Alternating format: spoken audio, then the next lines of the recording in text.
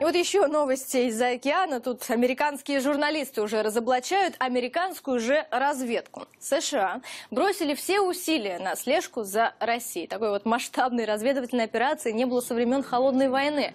В слежке участвуют агентура ЦРУ, кибершпионы, Агентство национальной безопасности, спутниковые системы и другие средства разведки. И статью об этом написал и Вашингтон-Пост. Там уверяют, что Москва застала Вашингтон врасплох своими успехами на мировой арене. И вот ничего не оставалось, как начать следить за Россией. В Пентагоне хотят понять, в чем же секрет Кремля.